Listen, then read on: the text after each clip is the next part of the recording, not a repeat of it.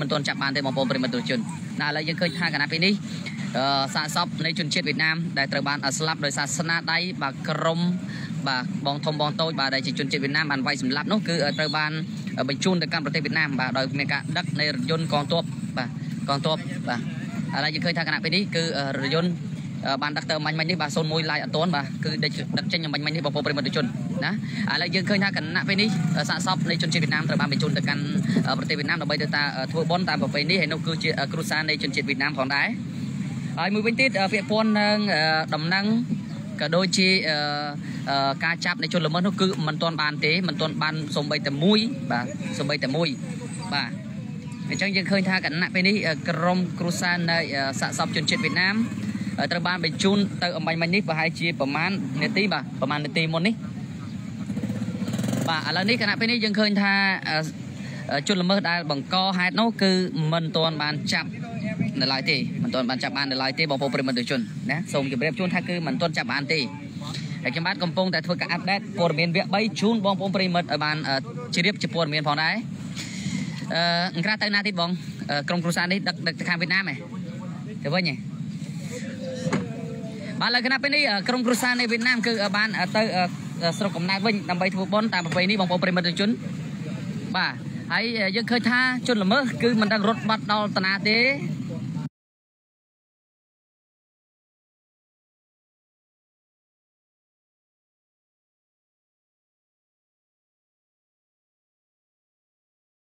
ឥឡូវកងកម្លាំងសមត្ថកិច្ចស្រាវជ្រាវមិនដឹងថាស្រាវជ្រាវដល់ណាទេបាទ នឹងធ្វើព័ត៌មានជូនបងប្អូនដោយសារមិញមេឃភ្លៀងខ្លាំងមែនតើនៅខាងស្រុកសំរោងបាទហ្នឹងហើយខាងស្រុកចន្ទ្រាបាទឥឡូវគឺនៅក្រុមគ្រួសារប្រហែលអ្នកទីគាត់នៅចាំទីនេះហើយមិញមិញគឺសាកសពត្រូវបានដឹកបាទឡើងតាមរថយន្តនៃកងទ័ពបាទគឺទៅបាត់ហើយបាទអញ្ចឹងព័ត៌មាននេះគឺមានតែត្រឹមប៉ុណ្្នេះទេបងប្អូនប្រិមត្តជនរងចាំតាមដានទេសនាជាមួយនឹងចាប់ជនល្មើសតែចាប់បានឬមួយក៏មិនបានស្រាវជ្រាវតាំងពីម៉ោងម៉ានមិនឃើញចាប់បានសោះបាទទៅឃើញចាប់បានសោះតែ ពិបាកដែរបងប្អូនប្រិមត្តជនណាពិបាកដែរបាទហ្នឹងហើយពិបាកទៀតណាបើមិនតង់ឃើញចាប់បានទេពិបាកទៀតបាទហ្នឹងហើយឥឡូវឃើញថាសាកសពយកទៅបាត់ហើយក៏មានអីទេបាទហើយជនល្មើសមិនដឹងរត់ទៅដល់ប្អិនហ្នឹងបាទជនល្មើសមិនដឹងរត់ប្រហែលជារត់ដល់ប្អិនហ្នឹងស្រាវជ្រាវបាទហើយកាមេរ៉ាសុវត្ថិភាពក៏អត់ទាន់បានឃើញទេបងប្អូនដោយសារគេមិនចូលរួមសហការដល់ពេលអញ្ចឹងពិបាកដែរចាំ01នឹងបង្ហាញកាមេរ៉ាសុវត្ថិភាព បាទពាក់ព័ន្ធនឹងករណីបាទគិតកម្មសម្លាប់ជនជាតិវៀតណាមដូចគ្នាត្រូវបានស្លាប់បាត់បង់ជីវិតភ្លាមភ្លាមនៅនឹងកន្លែងកាហេតុនៅទល់មុខនឹងកាស៊ីណូបាទហុង7បងប្អូនប្រិមត្តជនបាទច្រកទៅសម្រោងយើងហ្នឹងហើយវាយពាក់កដាផ្លូវងប់កដាផ្លូវតែម្ដងបាទអញ្ចឹងណា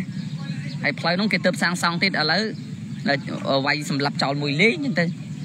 អញ្ចឹងពាក់ព័ន្ធនឹងបញ្ហានេះរងចាំសមត្ថកិច្ចស្រាវជ្រាវរកជនល្មើសមិនដឹងថារកឃើញឃើញក៏ខ្ញុំមិនទាន់ដឹងដែរ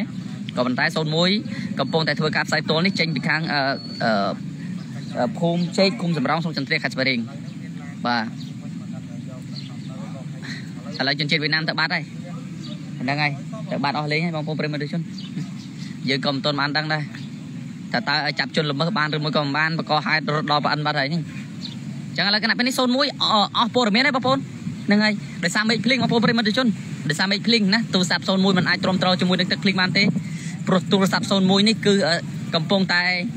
ធ្វើទុកបុកម្នេញឡាយអត់សូវច្បាស់ពាក់ព័ន្ធនឹងឡាយអត់សូវច្បាស់ទេចឹង01សូមអរគុណសូមគ្រប់លាបងប្អូនអរគុណចូលរួមតាមដានទេសនាកុំភ្លេចជួយ share ផងព័ត៌មានអាប់ដេត